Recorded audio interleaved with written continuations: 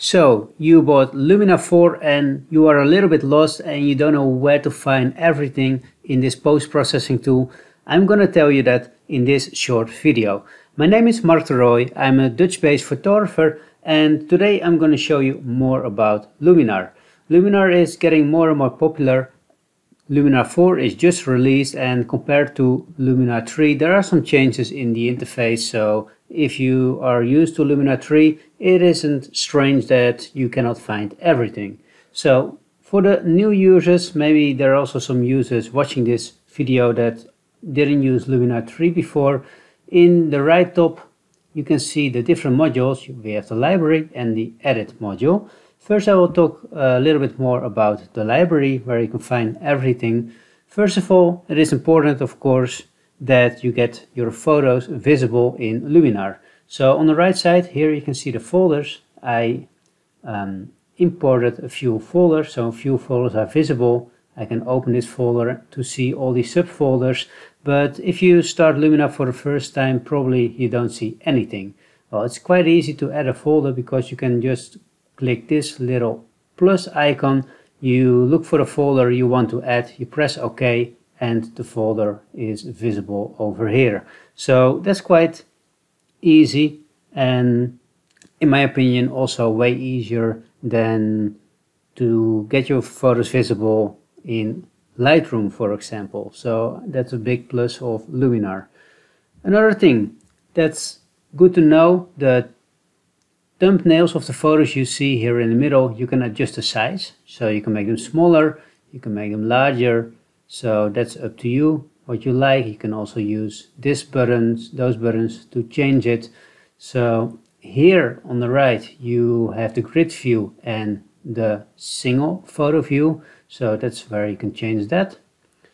Um, another important button after you finished editing your photos is this button. It's to export your photos. So if you want to use your photos including all the edits you made uh, for Facebook, Instagram, uh, maybe you want to make a print of it, you use this button to export the image to your hard disk, including all the edits. Then we go to the edit module. Also, this is quite different compared to Luminar 3. So what you should know about Luminar 4 is that the filters here on the right side, they are categorized. So they are categorized in essentials, creative, portrait and professional.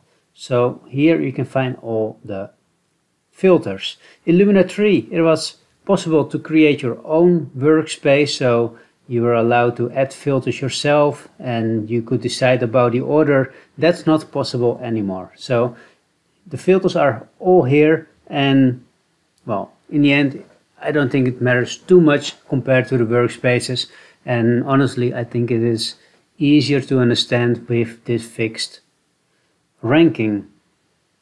So the filters are here. Um, the looks, the looks and if you don't know what looks are, looks are kind of no, presets. Presets is a more familiar um, term that is used more often, but it's just a combination of edits and you can press in on one of the looks and everything is applied right away.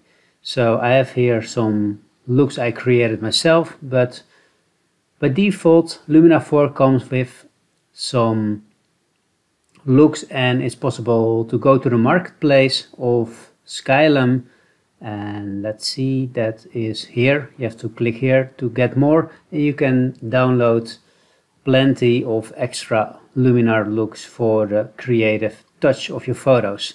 So that's very nice to know that the button is here now.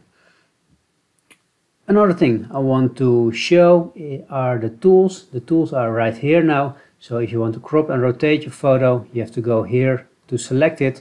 Although this icon is also visible here on the top. Uh, if you want to erase something or use the clone and stamp tool, you can find it also here in the tools section. Another thing that's in the tools section, maybe you cannot find it and maybe you expect it in the filters, uh, is the lens and ge geometry. So if you want to apply a lens correction, you have to go here to the tools to select it. As you might know, in Luminar 3 it was possible to work with different layers. In Luminar 4 that is still possible. So what you can do is you can pr press this icon here on the right top.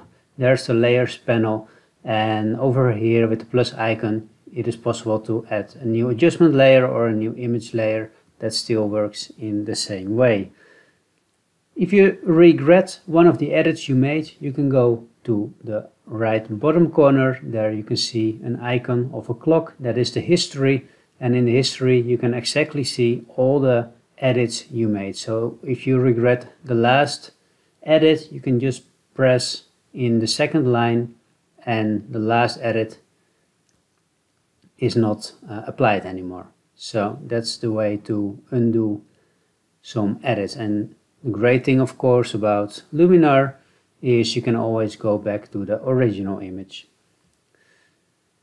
While you're editing your photos, maybe you wonder how the photo was before and how it is after. Here you can see it. You can press the eye. You can hold it with the left mouse button to see the before and after or you can do a split view of before after so that's also good to know and that's basically it what I wanted to show in this video it was a very quick video about the user interface I'm gonna make more videos about Luminar 4 um, more in-depth videos about the library also about the edit module if you have any special requests let me know uh, leave a comment below the video uh, with your request or your um, with your question and I will, will answer all the questions for sure and I will try to meet as many as requests as possible.